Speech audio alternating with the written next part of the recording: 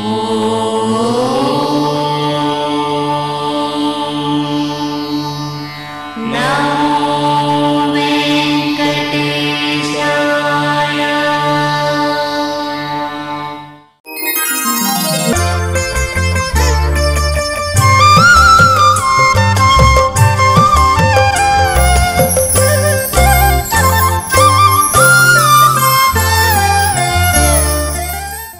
కరారవిందేన పదారవిందం ముఖారవిందే వినివేశయంతం వటస్య పత్రస్య పుటేశయానం బాలం ముకుందం మనసా స్మరామి. శ్రీకృష్ణ పరమాత్మ యొక్క అనుగ్రహం కోసం అష్టోత్తర శత నామావళి రూపంలో అర్చన జరిపిస్తూ ఉన్నాం మనస్సుతో స్వామి రూపాన్ని స్మరించుకుంటూ నోరార స్వామి నామాన్ని కీర్తిస్తూ చేస్తూ ఉండేటటువంటి అర్చన. నలభై ఒకటవ తిరునామం. ఓం కోటి సూర్య సమప్రభాయ నమ అనబడేటటువంటి తిరునామం. భగవంతుడి రూపాన్ని సామాన్యమైన మాంస చక్షువులతో దర్శించలేము అని చెప్పి చెబుతారు. ఈ శరీరానికి ఉన్నటువంటి కళ్ళతో స్వామి రూపాన్ని దర్శించడం సాధ్యం కానటువంటి పనిగా చెబుతారు. ఒకవేళ అలా చూడగలుగాము అనంటే అది స్వామి ఇచ్చినటువంటి ఒక దివ్య అనుగ్రహం వల్ల మాత్రమే సాధ్యమవ్వచ్చు అని అనుకోవచ్చు. కారణమేమిటి అనంటే ఒక సూర్యుడు కాదు కోటి మంది సూర్యులు ఒకచోట చేరితే ఎంతటి ప్రకాశమో అది స్వామి వారి యొక్క ప్రకాశమట. ఆ స్వామిని కదా పరమయోగులు సాధువులు సత్పురుషులు ముని పుంగవులు హృదయములో ధ్యానిస్తారు. కోటి సూర్యులని హృదయములో అలా నిక్షిప్తం చేసుకుంటే హృదయ పుండరీకములో హృదయాన్ని శాస్త్రములో కమలముగా వర్ణిస్తారు. ఎందువల్ల అనంటే హృదయములో కొలువు తీరేటటువంటి వారు సాక్షాత్తు భగవంతుడు కాబట్టి భగవంతుణ్ణి కమలములో కొలువు తీర్చాలి కాబట్టి మన హృదయాన్ని కమలముగా మార్చి స్వామిని ఆహ్వానిస్తాం స్వామిని హృద్గతం చేసుకుంటాం. అటువంటి స్వామి కోటి సూర్య సమప్రభలతో ప్రకాశించేటటువంటి స్వామి. ఒక వ్యక్తిని అడిగారట ఏమిటి నువ్వు సంధ్యావందనమే చేయడం లేదే? అని ఒక మహానుభావుడు ఆ వ్యక్తిని అడిగారు. ఆ వ్యక్తి అన్నారు నిజమేనండి నాకు కూడా ప్రతినిత్యము సంధ్య వార్చాలి అని ఉంటుంది. సంధ్యావందనం ఆచరించాలి అనే నా మనస్సు ఉబిళ్ళూరుతూ ఉంటుంది. సంధ్యవార్చేటటువంటి సమయములు ప్రాతకాలం సూర్యోదయ సమయములు. ఇక సాయంకాలపు వేళ సూర్య అస్తమయం తర్వాత. ఇటు సూర్యోదయానికి ముందు సూర్యాస్తమయం తరువాత రెండు పూట్ల కూడా సంధ్యావందనం చేసేటటువంటి మహత్తరమైన అవకాశాన్ని నేను పొందాలనుకుంటున్నాను కానీ నా వల్ల కావడం లేదే అని ఆ వ్యక్తి సమాధానం ఇస్తారట అడిగిన వ్యక్తి కాసంత ఆశ్చర్యాన్ని తెలియజేస్తూ కారణమేమిటి అనంటే సూర్యోదయానికి ముందు కాసంత చీకటిగా ఉంటుంది కాబట్టి సంధ్య వార్చేటటువంటి అవకాశం ఉంటుంది. సూర్య అస్తమయం తరువాత చీకటి పడుతుంది కాబట్టి సంధ్య వార్చాలి కానీ అదెందుకో నాకు చీకటన్నదే కనిపించడం లేదే.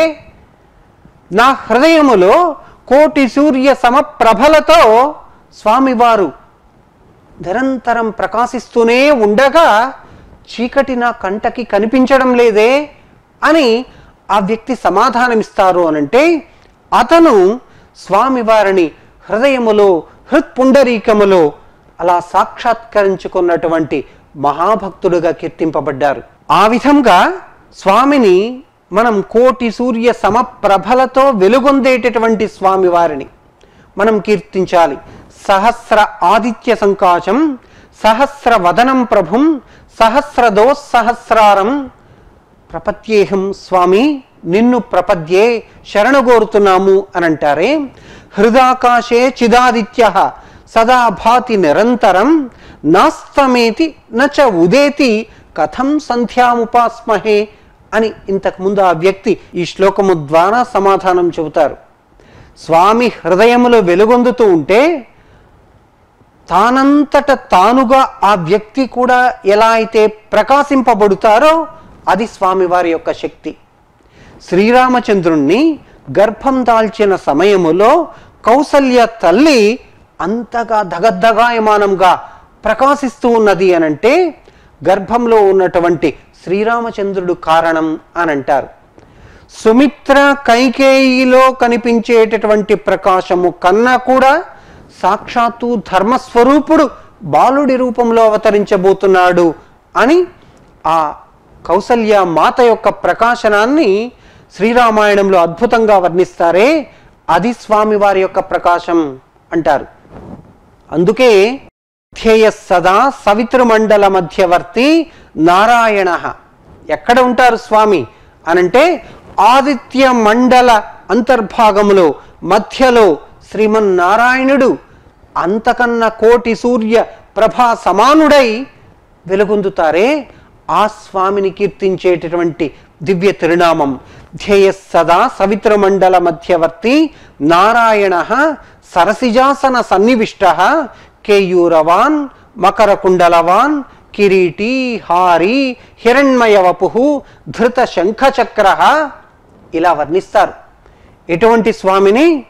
ఇలా కోటి కిరణములతో ప్రకాశించేటటువంటి సహస్ర సమప్రభలతో విరాజిల్లేటటువంటి శ్రీమన్నారాయణ స్వరూపమైన చిన్ని కృష్ణుని కారాగారములో అర్ధరాత్రి శ్రీకృష్ణ పరమాత్మ అవతరించినా కూడా అర్ధరాత్రి అన్నటువంటి విషయమే మరిచిపోయేటటువంటి విధముగా శ్రీకృష్ణుడు చతుర్భుజములతో శంఖచక్రములతో కోటి సూర్య సమానుడై ఆ కారాగారంలో అవతరించారే దేవకీదేవికి పుత్రుడిగా అవతరించారే అదే విధముగా రణరంగములో తన విశ్వరూపాన్ని ప్రదర్శించేటటువంటి సమయములో న మాంసచక్షు అభివీక్షతే తం.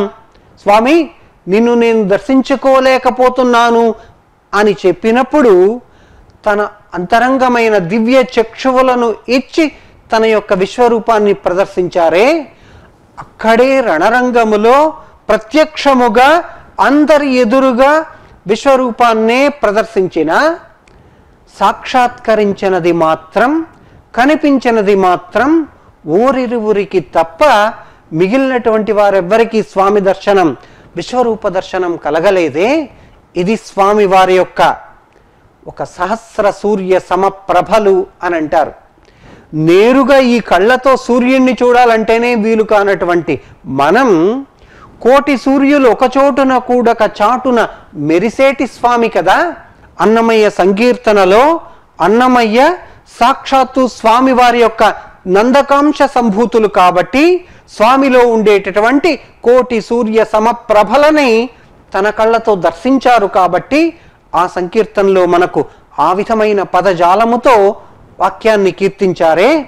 అటువంటి స్వామి కోధర్మ సర్వధర్మాణం అని ధర్మరాజు భీష్ముణ్ణి అడిగితే అంపశయ్య మీద పవళించి ఉండేటటువంటి భీష్ముడు మరి కాసేపట్లో తన విశ్వరూపాన్ని భీష్ముడికి సందర్శించబోతున్నారనంగా సహస్రమైన నామావళితో స్వామిని కీర్తిస్తూ ఉండేటటువంటి భీష్ముడు అంటారు ఏషమే సర్వధర్మాణం ధర్మోధికతమో మత యద్భక్త్యా పుండరీకాక్షం స్తవైరర్చేన్నర సదా పుండరీకాక్షుడైనటువంటి శ్రీమన్నారాయణుడు సహస్ర కోటి సమప్రభా భాసురుడైనటువంటి శ్రీమన్నారాయణుడు ఆయన్ని అర్చించడం ఆయన్ని కీర్తించడం ఇదే లోకంలో ఉన్నటువంటి ధర్మం అని పరమ భాగవతోత్తముడైనటువంటి భీష్మ పితామహుడు తెలియజేశారు కదా. అందువల్ల మనం కూడా ఈ తిరునామము ద్వారా ఆ స్వామిని అర్చిద్దాం ఆ స్వామిని స్తుతిద్దాం ఆ స్వామిని స్మరిద్దాం. ఓం కోటి సూర్య సమప్రభాయ నమ అని. స్వామివారి అష్టోత్తర శతనామావళిలో స్వామిని జ్ఞానస్వరూపుడుగా కీర్తించారు. ఓం ఇళాపతయే నమ అని నామం తిరునామం. జ్ఞానస్వరూపుడు ఎవరైనా ఉన్నారు అనంటే అది స్వామి తప్ప మరొకరు లేరట. వేదాలన్నీ చదివితే స్వామిని సాక్షాత్కరించుకునేటటువంటి జ్ఞానం అలవడుతుందో అలవడదో అన్న సంశయాన్ని తెలియజేస్తారు. మరి అటువంటి స్వామిని సాక్షాత్తు సంపూర్ణమైనటువంటి జ్ఞాన స్వరూపంగా కీర్తించి ఉంటే ఆ స్వామి రూపాన్ని నామాలని లీలలని లీలలో ఉండేటటువంటి అంతరార్థాలని సరిగ్గా అవగతం చేసుకోవడమే ఆ జ్ఞాన స్వరూపాన్ని మనం తెలుసుకోవడం అని చెప్పి చెప్పుకోవచ్చు. ఈ జ్ఞాన శబ్దానికి అర్థం ఏం చెప్పబడి ఉంది అనంటే బ్రహ్మజ్ఞాన సాధన రూపమైనటువంటి కొన్ని విద్యలు ఉన్నాయి ఎక్కడున్నాయి? బ్రహ్మసూత్రాలలో వ్యాస భగవానులు చెప్పి ఉన్నారు. వ్యాస భగవానులు బ్రహ్మసూత్రాలని అత్యద్భుతంగా కీర్తించారు. అందులో దహర విద్య అక్షి విద్య వైశ్వానర విద్య మొదలగు విద్యలన్నీ చెప్పబడి ఉన్నాయి. ఈ విద్యలన్నీ కూడా దేనికి మూలం? భగవంతుని యొక్క దివ్య రూపాన్ని అవగతం చేసుకోవడానికి మూలం భగవత్ తత్వాన్ని పూర్తిగా తెలుసుకోవడానికి మూలమవుతాయి. భగవత్ తత్వాన్ని సంపూర్ణంగా తెలుసుకుంటే భగవంతుని ద్వారా అనుగ్రహాన్ని మోక్షాన్ని పొందడం సులభమట. ఇంత పెద్ద మార్గం ఉన్నది ఆ జ్ఞానస్వరూపుడైనటువంటి ఇలాపతిని మనం అవగతం చేసుకోవడం.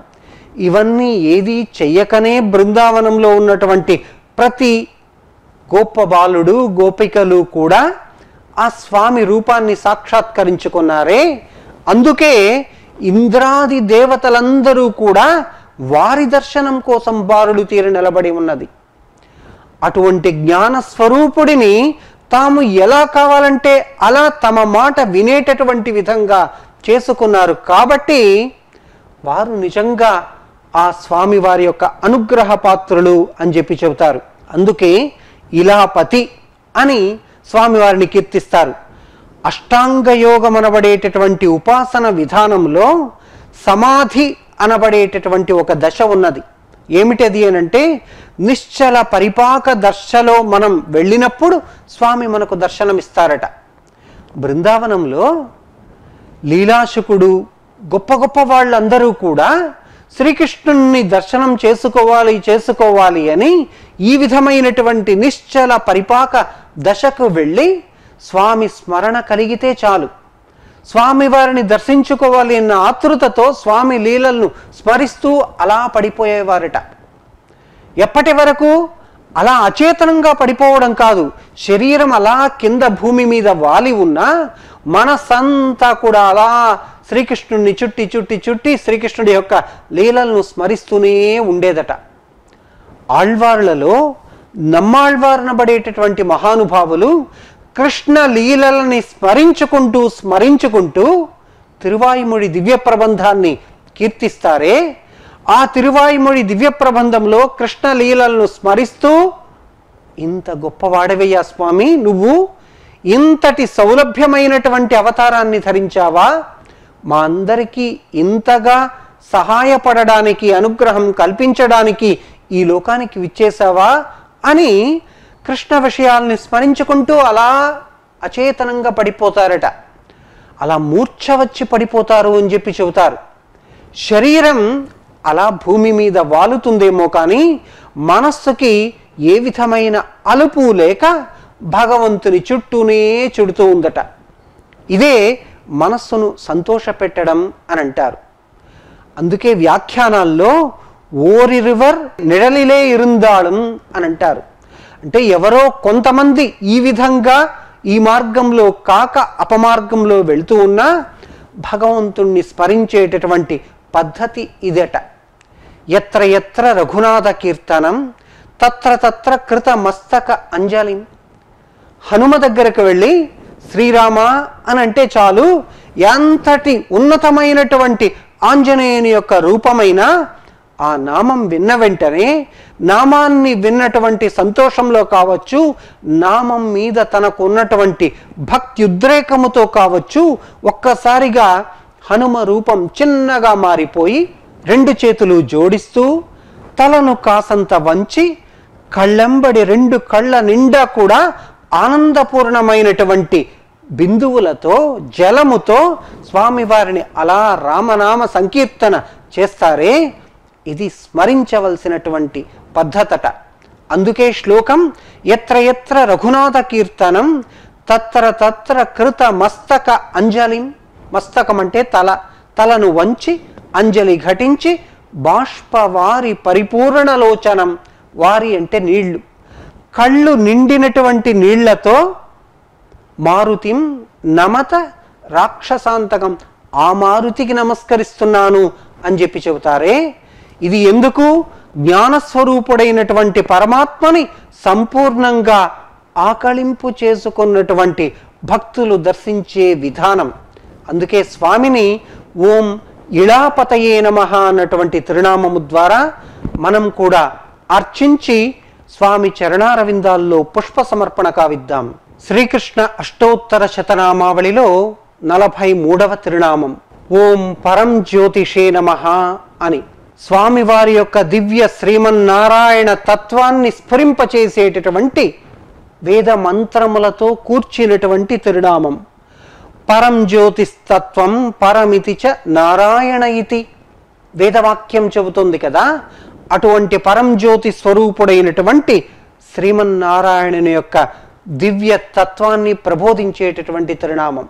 శ్రీమన్నారాయణుడు అంటే పరాత్పరుడు అఖిల హేయ ప్రత్యనీక కళ్యాణ గుణైక విశిష్టుడైనటువంటి స్వామి కారాగారములో అవతరించిన వెంటనే తల్లిదండ్రుల యొక్క సంకెళ్ళను తెంపివేశారు కదా. ఇదే పరాత్పరుడి యొక్క లీల. దేవకీ వసుదేవుళ్ళ యొక్క సంఖ్యలను తెంపివేయడం మాత్రమే కాక తన జ్యోతి స్వరూపాన్ని వాళ్ళకు సాక్షాత్కరింపచేశారే. ఆశ్రితులను కాపాడడాని కోసం ఆ పరమపదం నుంచి భూలోకానికి విచ్చేశారే. అటువంటి స్వామి లీలలను స్మరిస్తూ కీర్తించేటటువంటి ఒక దివ్య తిరునామం. దేవాహ అపి అస్య రూపస్య నిత్యం దర్శనకాంక్షిణ.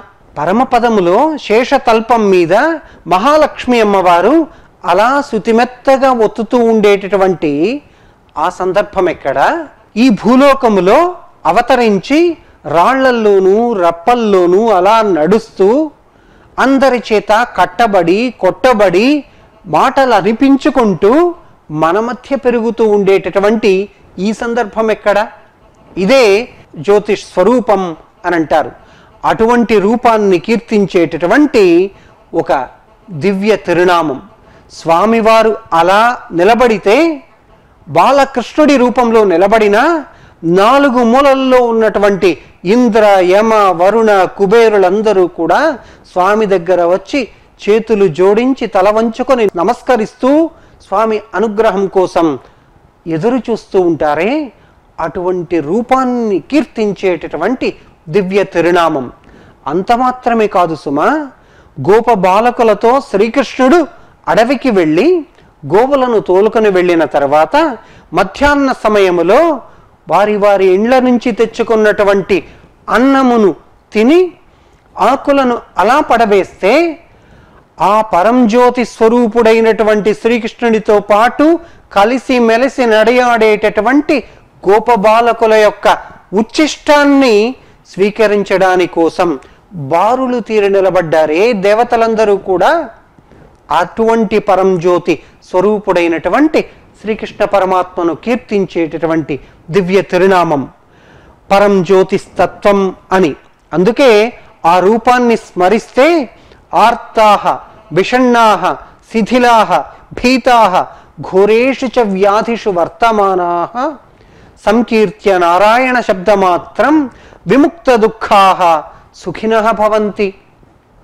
ఆర్తులు కావచ్చు అన్నార్తులు కావచ్చు విషణ్ణులైనటువంటి వారు కావచ్చు జీవితంలో శిథిలావస్థకు చేరినటువంటి వారైనా కావచ్చు వారందరినీ కూడా నిలిపి ఉంచేటటువంటి ఒక రూపం ఏదైతే ఉందో అదే పరం జ్యోతి స్వరూపమైనటువంటి రూపం.